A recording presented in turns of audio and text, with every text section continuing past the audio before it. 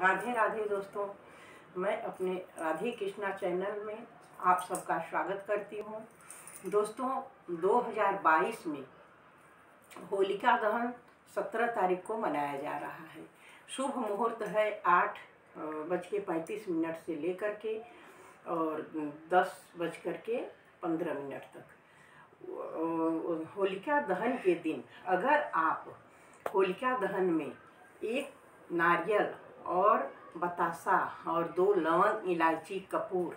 ये सब अगर आप डालते हैं और परिक्रमा करके अपनी मन्नत बोलते हैं तो सारी मनोकामना पूरी हो जाएगी। और होलिका माता के के समक्ष खड़े होकर के अपनी मनोकामना अवश्य बोलना चाहिए।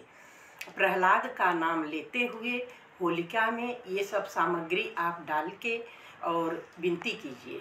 अपने समस्त कष्ट या मनोकामना जो भी हो, आप उसको बोल के और अगर विनती करते हैं तो अवश्य पूरी होती है।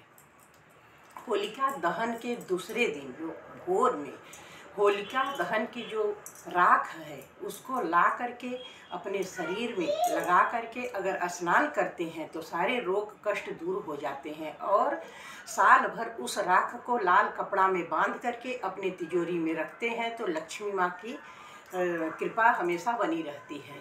जय श्री कृष्णा, जय श्री राधे।